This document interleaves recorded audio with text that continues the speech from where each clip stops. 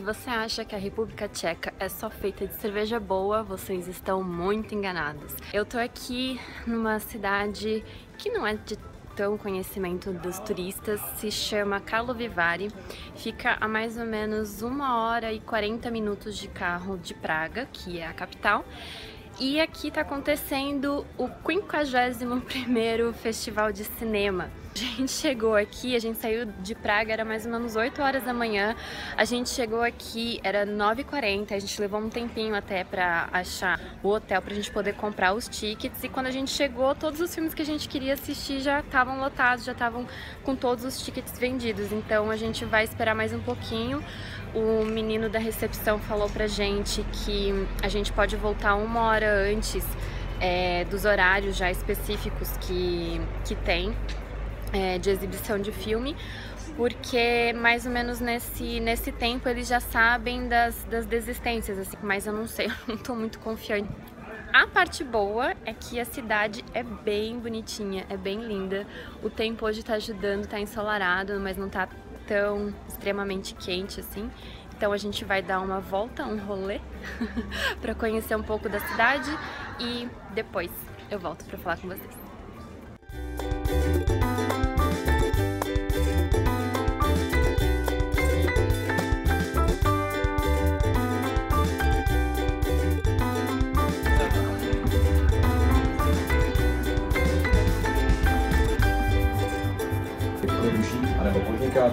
Abyste měli toho klíčového partnera, který se bude starat o všechno ostatní, aby všechna vaše zařízení dokonale fungovala, abyste se mohli spolehnout na slunce, na vítr,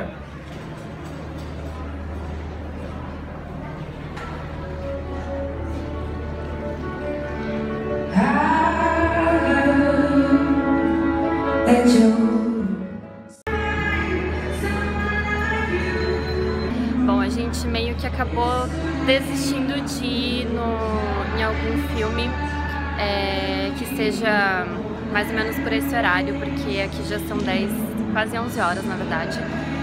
E daí a gente não ia ter tempo pra almoçar, não ia ter tempo pra muita coisa, porque daí a gente já teria que ir correndo pra, pra assistir o filme que a gente escolheu. Então a gente resolveu que a gente só vai passear aqui pela cidade, porque a cidade é linda. Então vem comigo que eu vou mostrar um pouquinho dessa beleza.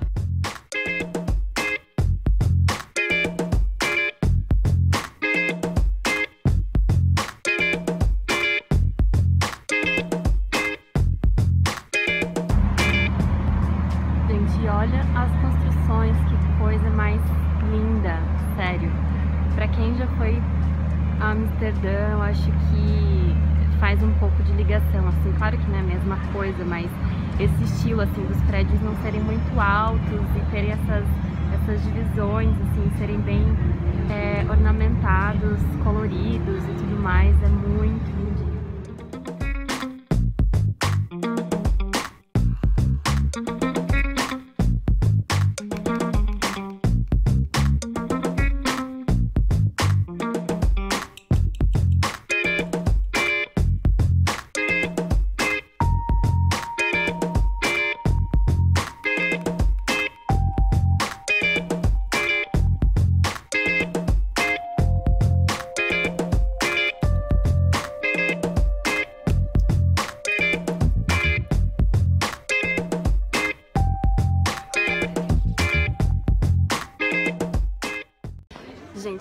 Falou que essa cidade é muito linda, realmente estava certo. É muito charmosa, as construções são lindas, é, é super bem cuidado e eu acho que tem um, uma coisa assim um pouco diferente de Praga que é mais aconchegante, eu diria, sabe? Os prédios não são tão altos e as, as ruas assim são meio estreitinhas, é esse estilo assim que eu sou apaixonada, apaixonada.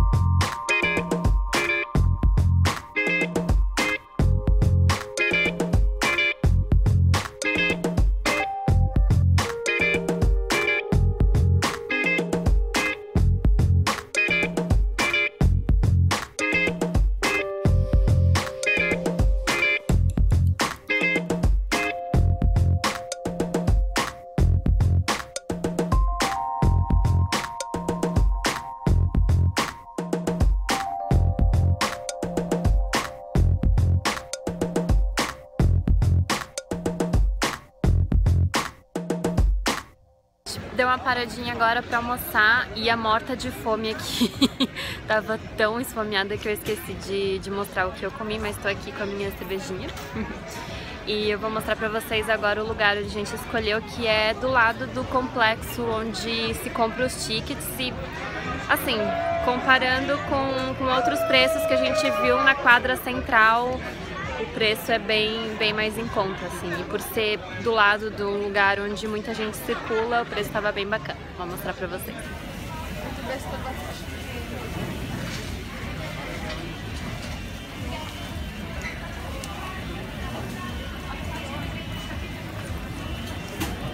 Nós estamos andando pelas ruas para ver se o tempo passa mais rápido. A gente olha esses prédios lindos, maravilhosos e olha eu aqui, me achando a dona da rua.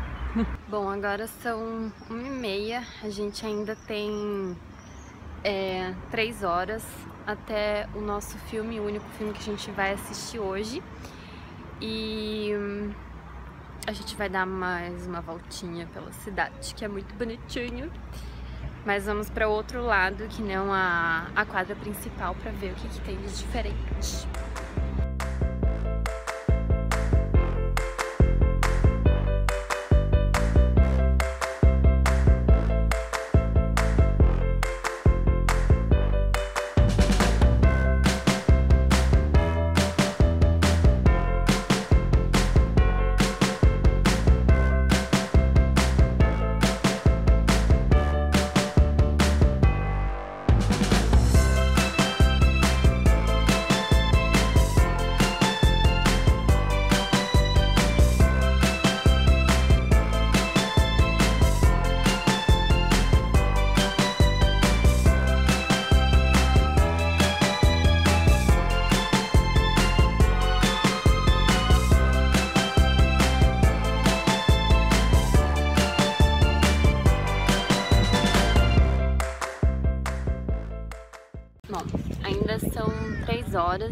A gente tem basicamente uma hora e pouquinho até o filme começar.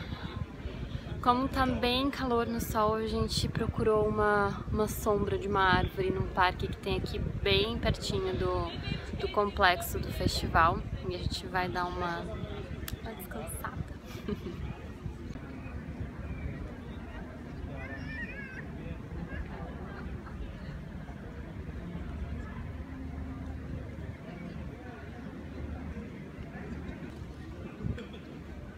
gente acabou dando até uma, uma cochilada, agora são 4 horas e a gente vai procurar o cinema que, que a gente tem o filme para assistir.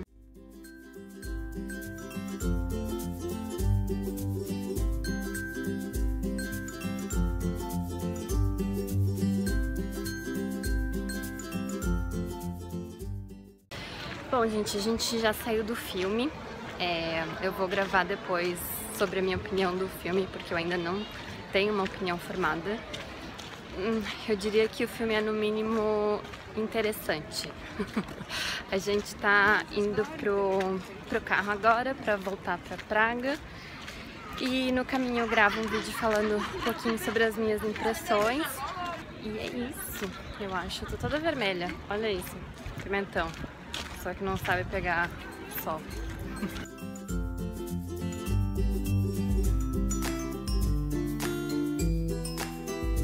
Gente, isso aqui é o que se chama de gordice. Hum? Dá uma olhada.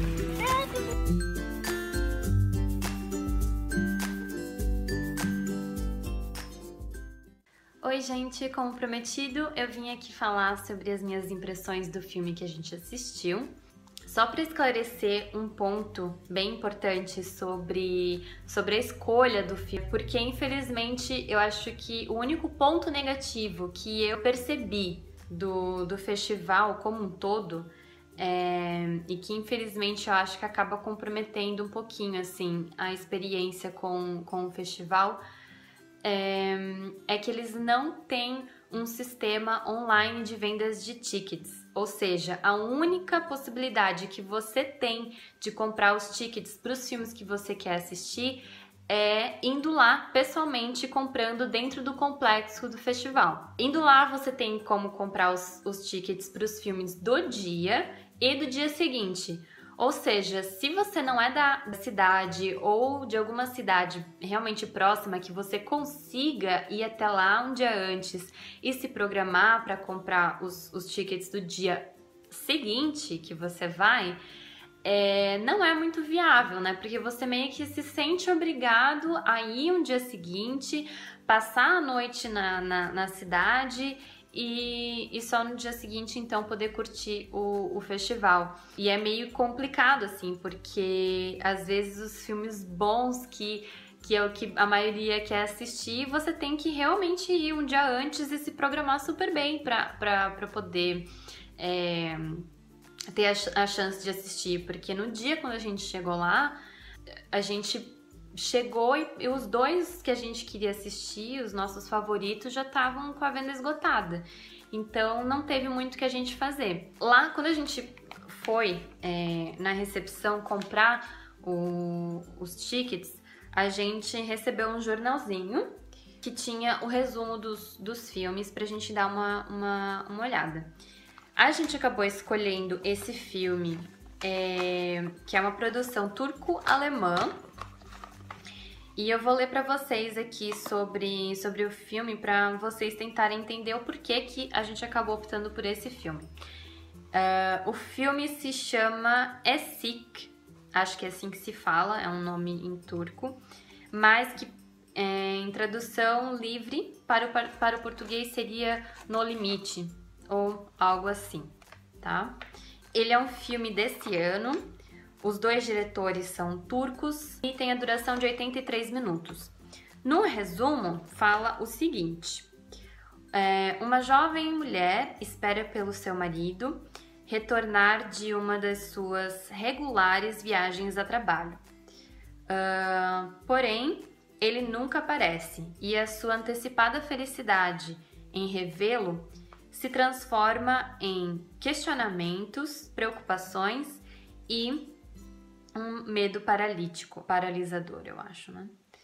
Uh, o apartamento vazio se transforma num labirinto de memórias e expectativas. Bom, para uma pessoa como eu, que realmente gosta bastante de drama, é, do gênero drama, eu, eu quando li assim, eu falei, nossa, eu acho que vai ser um filme bom, né? Enfim, o filme começou e tal, tudo mais. É realmente um filme bastante minimalista, assim, com apenas alguns, alguns personagens. Eu poderia contar, assim, que seriam é, três no total. Mais ou menos, diria também, só um cenário e sem, sem trilha sonora, é... enfim, sem efeito especial, sem nada. Uma história bem simples e o timing, assim, realmente bastante lento, bastante lento. Um, sem muitos diálogos também. Um, e diálogos bem curtos, assim, sabe? Sem muita profundidade, eu diria. E, e assim, eu achei até que um filme interessante, mas eu não sei se eu gostei muito assim do filme, sabe? Porque depois que você se acostuma com, com o tempo dele, é, você meio que acaba esperando alguma coisa mais, sabe? Você acaba esperando essa, essa sensação, assim, essa coisa que, que fala no resumo, que o apartamento vazio se transforma num labirinto de, de memórias e, e expectativas e tal, e e até teve um momento no filme que eu pensei assim, nossa, agora vai ser a virada. Que não, sabe? Ficou aquela coisa morninha, assim, o filme inteiro, sem grandes acontecimentos. Eu achei que seria bem mais dramático, assim, do que, do que me deixou a sensação, esse resumo, sabe? Mas de qualquer forma, tendo gostado ou não, tendo amado o filme ou não, eu achei a experiência super bacana.